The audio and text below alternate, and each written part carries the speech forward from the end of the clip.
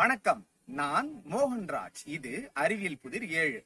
வாங்க புதிர்க்குள்ள போவோமா? இருட்டும் ஈரப்பதமும் இவர் இருப்பிடமாம்.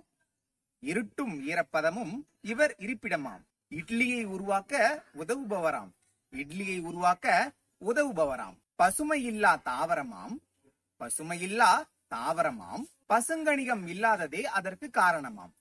பசுங்கணிகம் இல்லாததே அதற்கு காரணமாம். உடலை கண்ணுக்கு காட்டாத மாய வித்தகன் உடலை கண்ணுக்கு காட்டாத மாய வித்தகன் எனினும் தனி உடலம் மூலமாய் காட்சி தரும் வித்தவன் எனினும் தனி உடலம் மூலமாய் காட்சி தரும் வித்தவன்.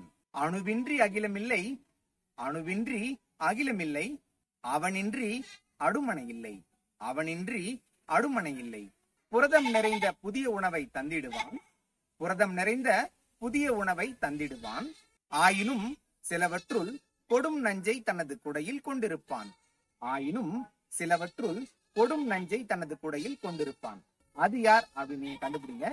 இதுதான் நண்பர்களே அறிவியல் புதிர் ஏழு. இதற்கான விடையை நீங்க கமெண்ட் பாக்ஸ்ல சொல்லுங்க. இதற்கான சரியான விடையை நான் அறிவியல் புதிர் எட்டு வீடியோல சொல்றேன். அதுக்கு முன்னாடி நாம் ஏற்கனவே பார்த்த அறிவியல் புதிர் ஆறுக்கான விடைகளை இப்ப தெரிஞ்சுக்குவோம்.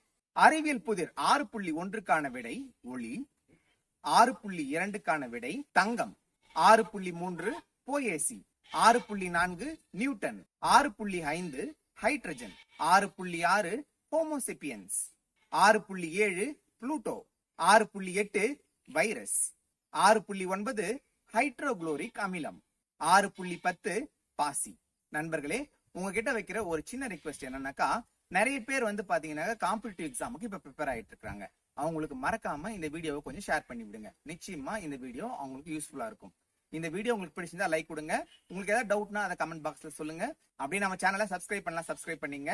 மீண்டும் நாம அடுத்த வீடியோவில் சந்திப்போம். அதுவரை வணக்கம்.